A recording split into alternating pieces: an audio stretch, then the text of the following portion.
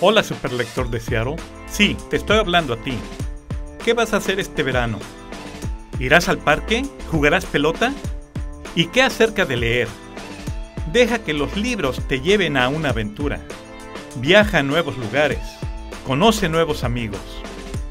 Crea tus superpoderes a leer todos los días.